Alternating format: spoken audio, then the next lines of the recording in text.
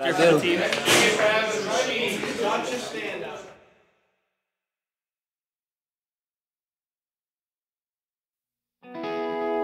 Canandaigua was called the chosen spot.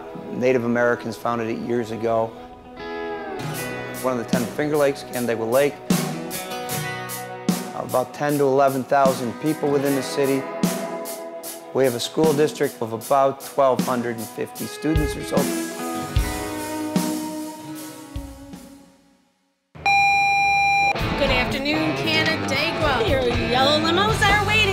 Miss Pintal, teacher of the week. Teacher of the week. Yes. This group of kids from the off season has been one of the hardest working groups of kids that we've ever had. The dynamic of the team, I think in general, we get along great outside lacrosse, and I think that only capitalizes and continues on the field when we play.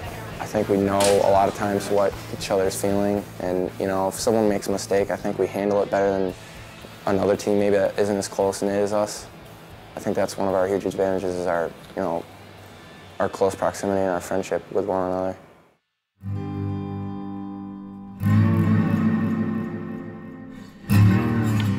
Being that that's my senior year, excitement there at that level, you know, I'm not going to ever have a chance to play again with these guys. And so playing lacrosse, doing something that we all love is going to be tough saying goodbye to it. So I want to make the best of the season and make the best season for our community and have it go all the way, our, our team go all the way.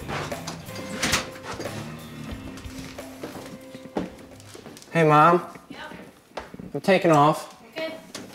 Just, we're leaving at like 9.30, going to Marshall's, and then uh, probably some more. Okay, great. Have a good game. Thank you. Be safe. Thank you. You too. Fun. You got the cookies? Yes, I do. Thanks. All right. See you tomorrow. All right.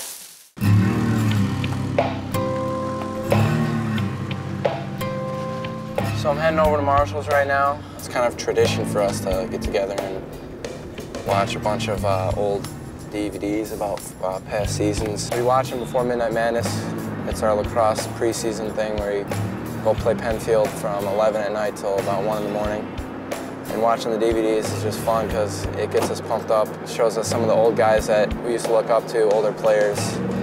And uh, it's cool to be at that level now and, you know, aspire to be like, play like them. So that's why I watch it. It gets us pumped up and excited and ready to go. Let's, let's do it up. Oh.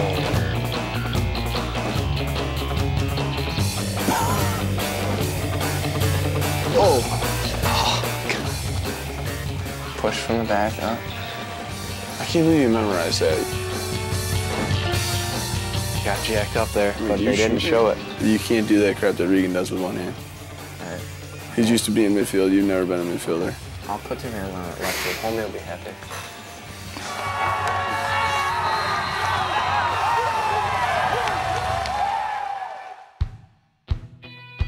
You say grace, please? Yeah.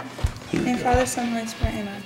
Bless us, O Lord, for these thy gifts which we are about to receive from thy bounty for Christ our Lord. Amen. And we pray for our soldiers fighting overseas that you bring them home safe and healthy, Lord. In Jesus' name, amen. Amen. This is somewhere around the seventh or eighth time we've done this. What happened was Coach Rice from Penfield and I talked about it and we decided it'd be a nice thing that, you know, basketball has midnight madness and all that stuff. So we said, eh, why not lacrosse? So actually the first ones we did were actually at midnight. They weren't at 11. You guys are playing 11, right? 11 to 1. It was, uh, it was one, the first one we did was 12 to 2. And we got home kind of late, to say the least. But it was midnight madness. Okay, everybody all set? Let's go.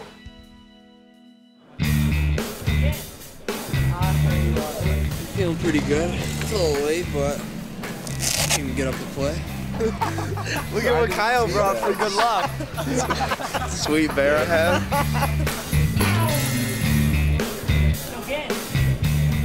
I'm ready. I'm excited.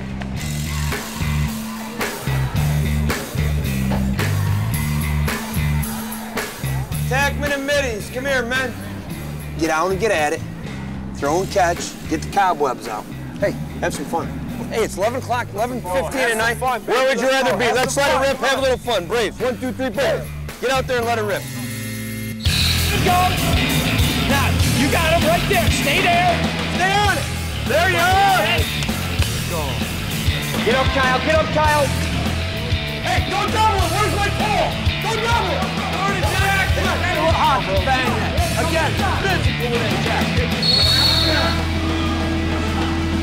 Got 10 seconds. Let's push together, Brando. Beat him. Beat him. There it is. There you go. There you go.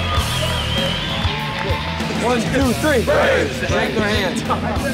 I think after like the quarter, first quarter, we got our legs under us, started moving the ball, playing with confidence, and, and I thought our offense was doing great, and our defense was doing great, communicating, and I think I'm, we're ready for the season. I'm excited. A couple practices, we'll be ready. Not bad.